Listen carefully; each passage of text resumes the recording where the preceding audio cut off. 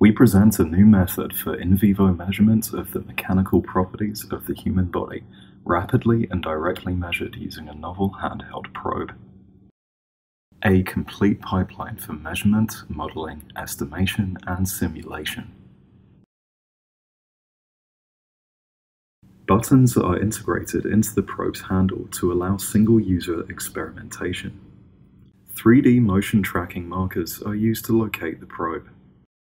Sensors in the head of the probe include three cameras which capture tissue deformation around the probe shaft. A quick change tip allows for different modes of contact in future experiments. Cameras are placed to capture a 360 degree view around the probe tip. The probe includes a 6-axis force-torque sensor.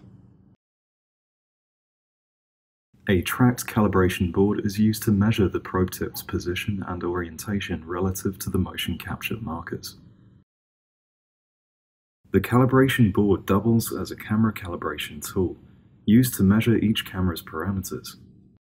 The mass of the probe shaft is estimated to correct the force readings at any orientation. Markers placed on the body are labeled and tracked to capture participant motion. Real-time torso tracking is robust to occlusion even during dramatic movements.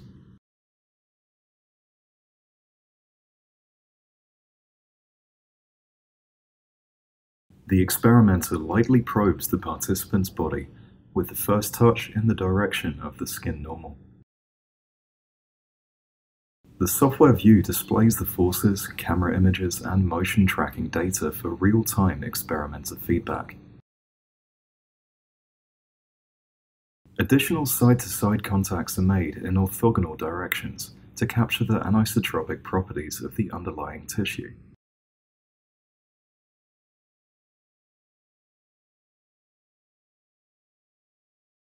The captured tip motions are used to drive our sliding thick skin simulation.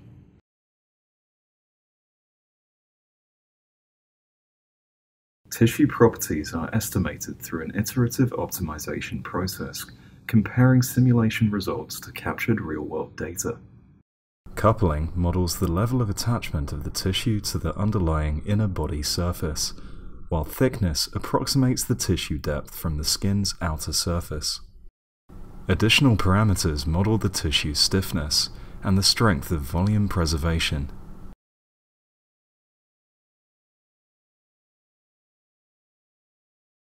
These parameters are used to model heterogeneous tissue across the body.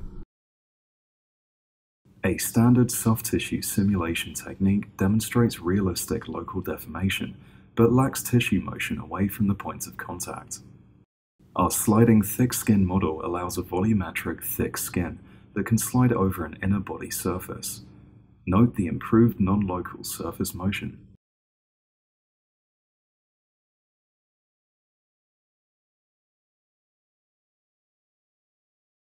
Here we compare our simulation results to a real-world example of the measured participant.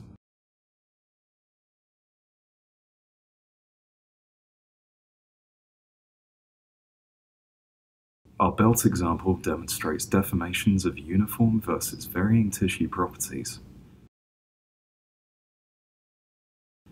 Notice the difference in deformation around the bone at the iliac crest.